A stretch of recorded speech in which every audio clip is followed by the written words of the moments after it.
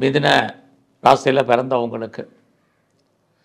இதுவரைக்கும் இருந்த குழப்பமான ஒரு சூழ்நிலை நீங்கி எதையுமே தைரியமாகவும் போல்ட்டாகவும் சிந்தித்து செயல்படுத்துவதற்கான வாய்ப்பு கால நேரம் இந்த வாரம் உங்களுக்கு இருக்குது பொருளாதாரத்தில் பொறுத்த வரைக்கும் பெரிய கிரைசஸ் ஒன்றும் இல்லை.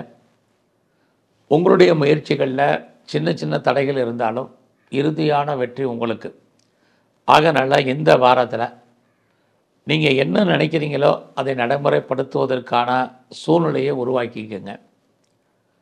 பெரிய லெவலில் நீங்கள் ஹார்ட் ஒர்க் பண்ணுங்கள் உங்களை நீங்கள் பெரிய லெவலில் டெவலப் பண்ணுங்கள் உங்களுடைய லைஃப்பில் உங்களுக்கான ப்ராஜெக்ட் என்னவோ அதை எப்படி சக்ஸஸ்ஃபுல்லாக கொண்டு போகிறதுன்னு முயற்சி பண்ணுங்கள் கண்டிப்பாக நீங்கள் ஜெயிப்பீங்க.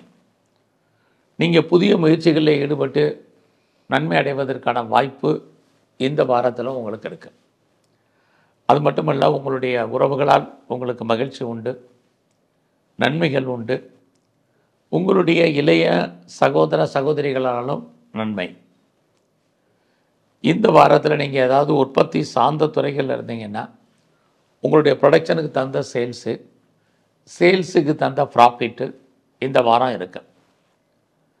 இந்த வாரத்தில் நீங்கள் ஏதாவது கலைத்துறையில் இருக்கிறீங்க உங்களுக்கு பாப்புலாரிட்டி இருக்குது நல்ல புகழ் அந்தஸ்து இருக்குது வருமானம் குறைவு. உங்களுடைய அரசியல் வாழ்க்கை இந்த வாரம் மிகப்பெரிய மாற்றம் முன்னேற்றத்தை கொடுக்கும் ஏற்றம் மிகுந்ததாக இருக்கும். நீங்கள் ஸ்போர்ட்ஸில் இருந்தீங்கன்னா உங்களுக்கு அவார்ட்ஸ் அண்ட் ரிவார்ட்ஸ் கிடைக்கும். இதெல்லாமே உங்களுக்கு மகிழ்ச்சி சந்தோஷத்தை கொடுக்கறதுக்கான வாய்ப்புகள் இருக்குது ஸோ மிதின ராசியில் பிறந்தவங்களுக்கு ப்ரொஃபஷன் எப்படி இருக்குன்னு பார்க்குறோம். உங்களுடைய ஜாபை பொறுத்த வரைக்கும் நல்லா இருக்குது கரியரில் நீங்கள் நன்மைகள் உங்களுக்கு உண்டு. நீங்கள் ஐடியலாக இருப்பதற்கான வாய்ப்பு இல்லை. ஏதாவது ஒரு வேலை ஒரு வருமானம் ஒரு சம்பாத்தியம் டெஃபினட்டாக உங்களுக்கு இருக்குன்னு தான் சொல்லணும். இந்த வாரத்தில் ஏதாவது லோன் அப்ளை பண்ணிங்கன்னா கிடைக்கும். சொந்த பிஸ்னஸுமே இந்த வாரம் உங்களுக்கு சுமாராக இருக்குது ஒரு பக்கம் உங்களுக்கு தொழில் வருமானம் சம்பாத்தியம் கூடுற மாதிரி தோற்றம் பிஸ்னஸில் லாஸ் மனைவியை விட்டு பிரிஞ்சிருக்க வேண்டிய காலம் அல்லது மனைவிக்காக செலவு பண்ண வேண்டிய வாரம்.